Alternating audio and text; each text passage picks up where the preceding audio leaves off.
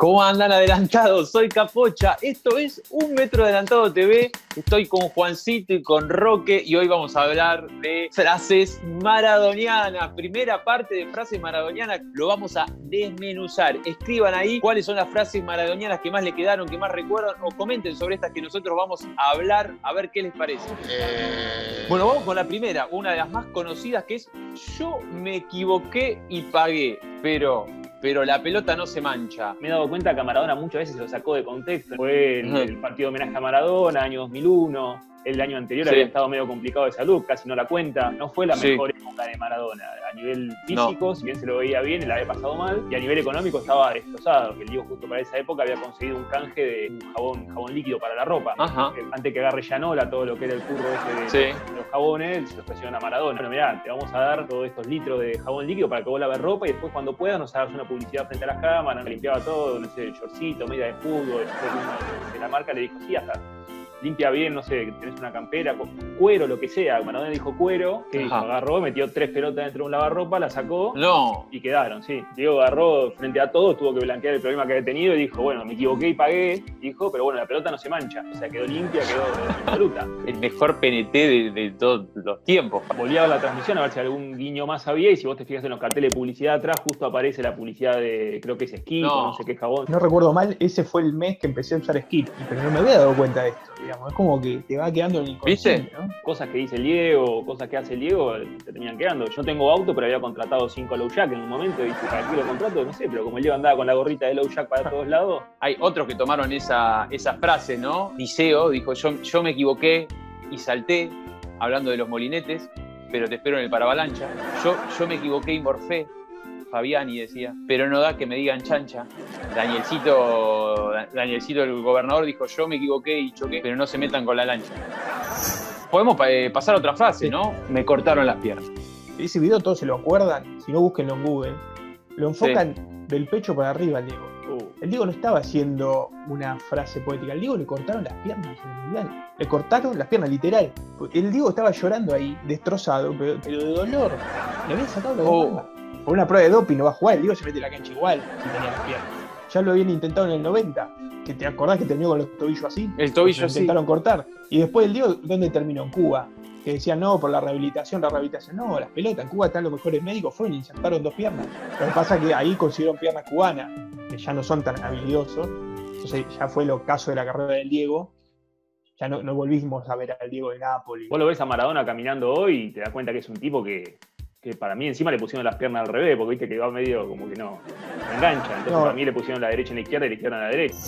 Bueno, otra de las famosas frases del Diego es, a Grondona se le escapó la tortuga. Tanto quilombo por la tortuga de Grondona, o sea, ¿qué, qué nos volvimos todos? Defensores del medio ambiente, ¿por qué hay que preocuparse por la tortuga de Grondona? Se escapó la tortuga y bueno, maestro, compramos otra o vamos a buscar otra. Pero yo, ¿qué? había algo, la tortuga tenía algo en el caparazón, o sea, que tenía documentos que no se podían ventilar, tenía guita la tortuga. Y, después me pregunto, ¿por qué no la fueron a buscar, no sé, a París o a Peguajó, si cerca? Es verdad.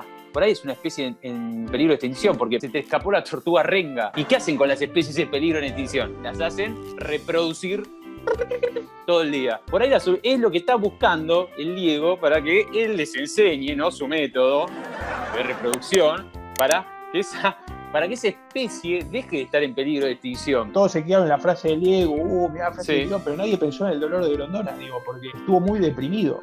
Eh, fue el peor momento de la AFA cuando perdió la Tortuga, que dicen que la perdió en la ferretería. Y recién levantó dos años después cuando le regalaron el anillo de todo pasa. Después de dos años de psicólogo, tipo dijo, "Ah, todo pasa, todo pasa, y se tranquilizó. Hay una frase que es más reciente del Diego, que se la dijo a los periodistas después de clasificar a Argentina al Mundial de Sudáfrica, con perdón de las damas, que la sigan chupando. Yo hablé con Janina, eh, mi prima. Pensé que era la hija de Maradona, no. ¿Y qué tiene que ver tu prima? No, nada, le comenté que estaba buscando información y justo tenía de, de este tema, así que, que me pasó lo que sabía. Esto fue una clasificación al Mundial, Sí. Argentina-Uruguay, partido emotivo, ganamos con gol de quién? De Volati. Volati, ¿de dónde es? De Córdoba. De Córdoba. De Huracán, ¿Y qué sí. toman en Córdoba? Fernet. Fernet. ¿Y qué pasa? A las minas generalmente hay muchas que no les gusta el Fernet. El Diego estaba como loco en el vestuario y abrieron un, un Fernet y empezaron a chupar y, y fue un mensaje para toda Córdoba. con el perdón de las damas que la hacían chupando. Se, Ah. Es más, se armaron un viajero ahí en el vestuario, parece, para volver el buquebús. Ahí el Diego iban tomando todo con Bilardo. Eh, bueno, me, gustaría pasar a la última frase, si no les molesta. Segurola y Habana 4310, séptimo piso. Y vamos a ver si dura 30 segundos. Busqué que fue en, en octubre del 95 y ese día se registró un récord de temperatura en Buenos Aires. Y me parece que lo que estaba hablando ahí el Diego, como que ella anticipaba lo que eran las apps de delivery. Y lo que estaba haciendo ahí era, en verdad, estaba hablando del delivery de helado. Se había pedido un helado él para que se lo lleven a la casa y dijo, vas a ver si me dura 30 segundos. Y el Diego estaba cagado de Claro. calor y dijo, este kilo de helado no me dura ni 30 segundos. Y vos fijate, ¿no? El tipo en ese momento no había celulares. Entonces No fue y lo pidió por la tele. Pobre heladero, no sabe los gustos que le metió. Claro. Pues le dijo, vamos a ver si te dura Claro. 30 segundos. Le metió zamballón, menta granizada y otro gusto más. Claro, y crema Crema del del cielo. Anda a comerlo, le dijo. Tiene lógica, ¿no? Porque imagínese el Diego bajando del departamento para ir a la heladería. Está tres horas para comprar helado. Tiene que firmar 800 autógrafos, Claro, sacarse sí, no. 600 fotos. Si no pedía un delivery por televisión, era imposible comer un helado. Creo que con estas cinco vamos a estar bien para empezar. Que la gente ahí, ¿no? Sume su frase maradoniana preferida, que también opine sobre estas teorías. Denle like al video, coméntenlo y suscríbanse tocando la campanita que todos los lunes y jueves subimos más de estas charlas futboleras. Y bueno, como decimos siempre, gracias Juancito, gracias Roque, soy Capocha, esto es un metro adelantado TV y el futbolero lo entiende, hermano.